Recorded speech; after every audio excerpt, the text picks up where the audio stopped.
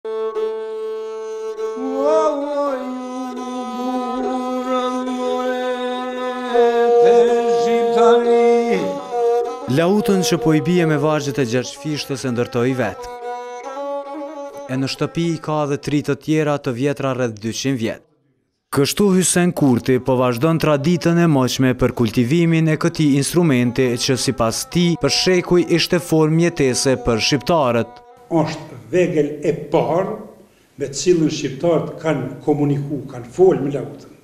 Edhe me lahutë kanë përcjell Trimninë, kanë përcjell gëzimin, idhnimin, se nuk kanë di shkrim e lexim.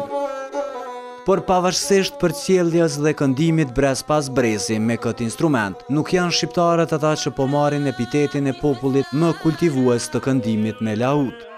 Janë serbët të cilët në sesionin e trembëdhjetë të Komitetit Ndërqeveritar për Ruajtje të Pasurisë Jomateriale e regjistruan si pasuri botërore në UNESCO të kënduarit në shoqërim me lahutë. Ky fakt po e shqetëson shumë lahutistin nga Peja. Tragjedi që na shqiptarët nuk jem ka kultivojm send a sidomos malazezt ata e kultivojn me të madhe i kan shkollat e lahutës edhe me i msu brezin e ri me i ra edhe me i punu.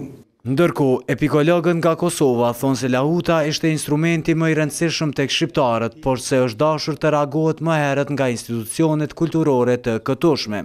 Lahuta ishte instrumenti kryesor i përcjelljes së kangës së eposit të Kreshnikëve. Epos të Kreshnikëve sot në Evropë të gjallë nuk keni, duke filluar prapë nga Spanja edhe deri lart në Finlandë. Nga Ministria Kosovare e Kulturës nuk ka pasur një reagim lidhur me këtë zhvillim nga UNESCO. Ndërkohë Ministria e Kulturës nga Shqipëria bëri me dije se janë në kontakt me Ministrinë e Malit të Zi për të zgjeruar pjesëmarrjen në këtë regjistrim të Shqipërisë dhe të vendeve të tjera të Evropës Juglindore. Sipas këtij dikasteri, muzikologët shqiptarë janë duke përgatitur dosje për të regjistruar eposin e Kreshnikëve në UNESCO.